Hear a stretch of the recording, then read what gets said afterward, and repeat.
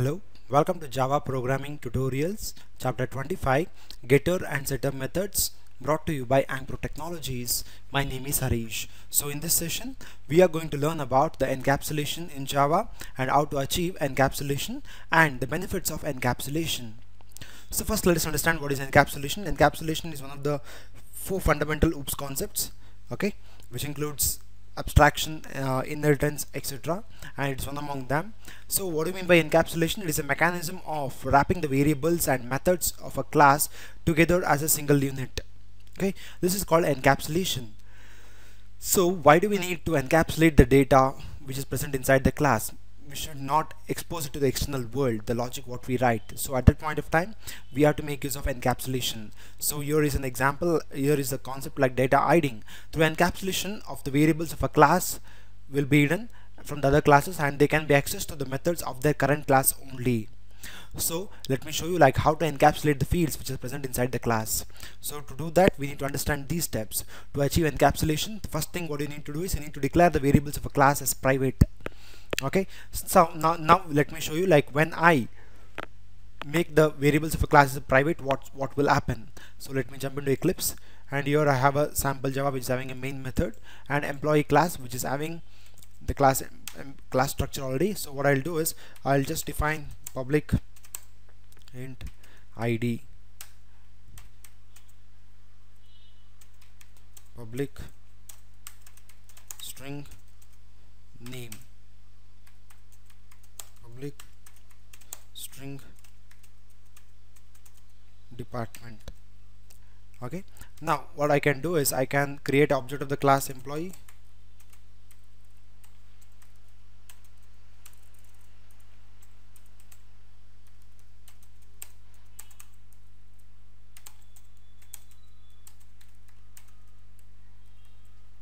Okay.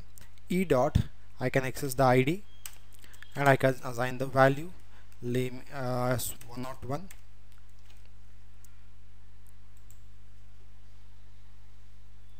okay. I can assign the value as 101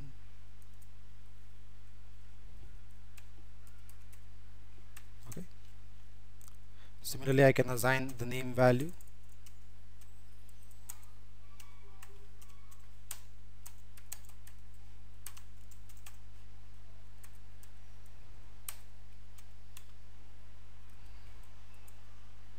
department.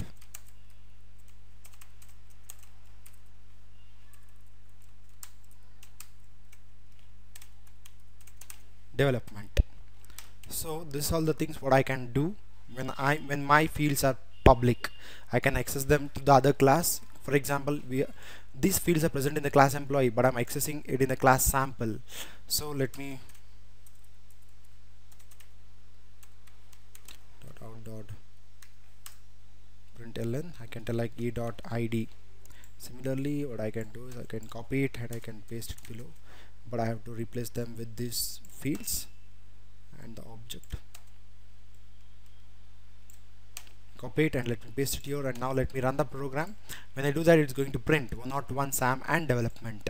Okay? But what I do is right now we need to encapsulate this field. We should not allow these fields to be available to the class sample. Okay so to do that the first step what we need to do is we need to make the fields as private. Okay now let me copy this. Let me do it for the rest of the fields present here. So when I do that when I go back here okay here you can observe very clearly we are getting a red squiggly telling like okay the field employee is not visible because it is private in the sense these fields are visible are accessible and we can modify anything related to this field only within the class but not outside the class. So at that point of time what we can do is we can make use of okay at that point of time what we can do is we can make use of a beautiful concept called encapsulation.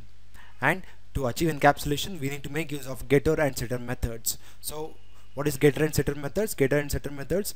Using getter and setter methods we can assign the value to them and we can get them back. So first let me write a getter and setter method to the id so what I need to do is first let me write a setter method to it to id so public void set id okay set id and now uh, to the set id I can I should pass variable. So here what I need to tell is I need to tell like the small id is equal to this capital id okay this is what the set okay? This set id method what it does is you can set the value to that this field. So once I pass as parameter that will be assigned to this field. Similarly if I need to get them back it's very simple. Public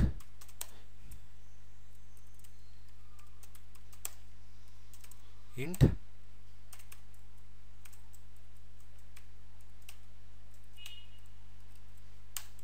So it's going to return the id so this is what the get and setup methods this is the set method and this is the get get method. So set method is used to set the value to this field with, within that class itself and so now let me show you. So what I'll do is I'll come here I'll tell e dot set id I'll pass it as 101 now if I need to get them back it's very simple to get it. So let me check out like what is the error right now. This is the error and again this is the error. So and here is the error. So now what I can tell is e dot set id 101 and now I need to make use of system dot out dot print ln.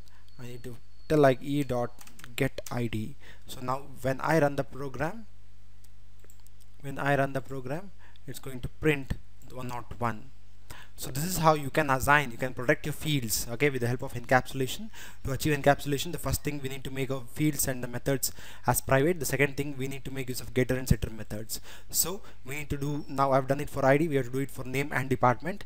But uh, it takes some time to do that but I'll show you a shortcut like how to how to get the set and get methods very in very simple manner. So click here somewhere in your panel and go to source and you click here like generate getter and setters. So automatically you'll get a panel telling like for which all the fields you need to generate like id department and name. Otherwise you can click select all. Then you have to click ok. So here you can observe very clearly uh, these things are being generated right now.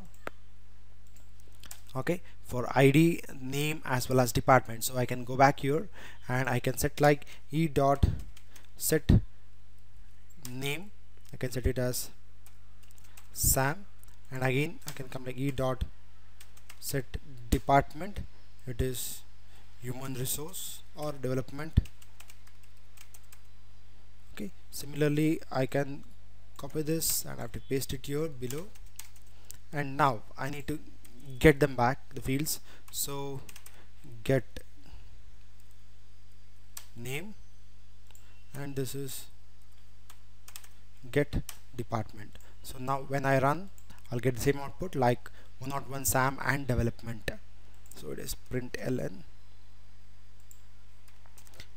The print it prints in the same line but print ln it takes to the new line for you. So you can observe here very clearly. So this is what about okay the encapsulation. So for, to achieve encapsulation we need to make the fields private and then we have to make use of and setter methods so the benefits is the fields of a class can be made read only or write only. Okay? And a class can have complete control over what is stored in its fields. Okay? For example um, the pass mark is fixed is fixed. It will be not modified or like uh, so let me tell like private string email so this field is fixed. It will be it should not be changed. So at that point of time we need to write only the getter method not the set method. So let me tell like sam at gmail.com so this is the field which needs only the setter method getter method so at that point of time what I can do is I can just tell like okay get email return email. Okay.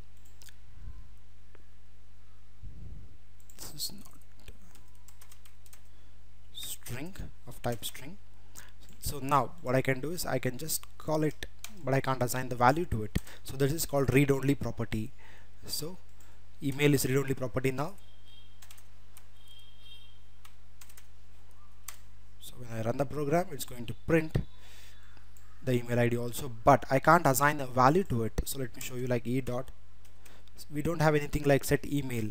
So we can't assign a value to it. So that's the thing like you can make your field read only or write only.